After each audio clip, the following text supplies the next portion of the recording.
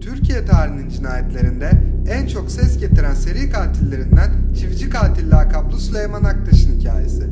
Süleyman Aktaş, Denizli'de Türkiye Elektrik Kurumu Müessese Müdürlüğü'nde çalışan, kendi halinde evli ve iki çocuk babası bir hat işçisiydi.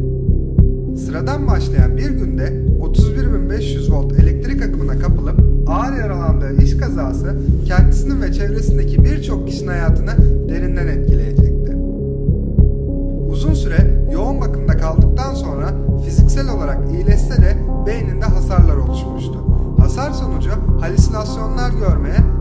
içinde sesler duymaya başlamıştı.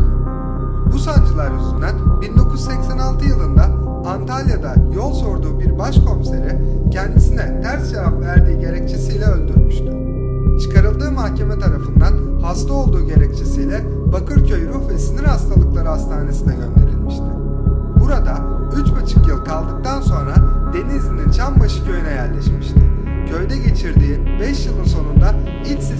Olup yaşlı bir çifte evlerinde başlarına çekiçle vurarak sersemletip henüz hayattayken sol gözlerine ve alınlarına çivi çakarak öldürmüştü. Yaşlı çiftin cesetleri geç bulunduğundan bedenleri kurtlanmış ve çürümeye başlamıştı. Bu yüzden cinayeti tespit edilememiş ve ölümlerin gıda zehirlenmesi nedeniyle gerçekleştiğine kanaat getirilmişti. Ölümlerin üstünden bir ay geçmişti ki köyde yine yaşlı bir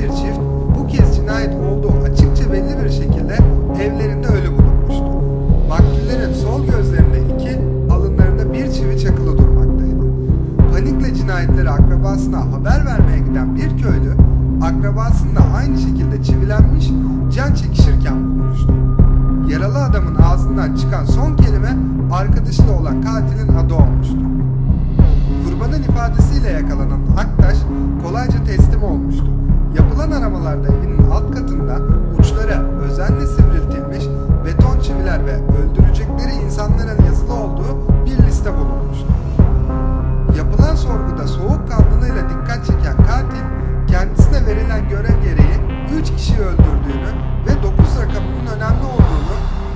Üçer çivi kullandığını söylüyordu.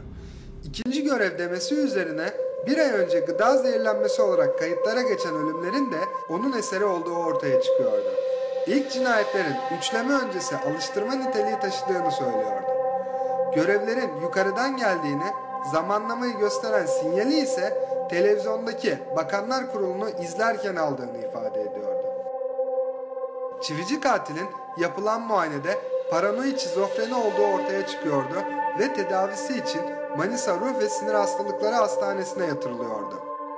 Aktaş'ın bir keresinde bir günlüğüne de olsa kaldığı hastanenin demirlerini keserek kaçmayı başarması buraya gelecek korkusuyla köyünün 1500 olan nüfusunu 680'e düşürüyordu. Bugün hala hastanede yüksek güvenlikli bir odada kalan çivici katilin tedavisinde bir gram ilerlenmediği kaydedilmiştir.